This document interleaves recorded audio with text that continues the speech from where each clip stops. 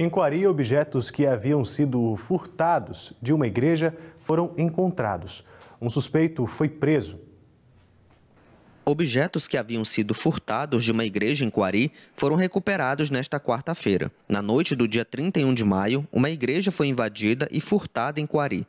No local, objetos como microfones, mesa de som, teclado e itens religiosos foram levados.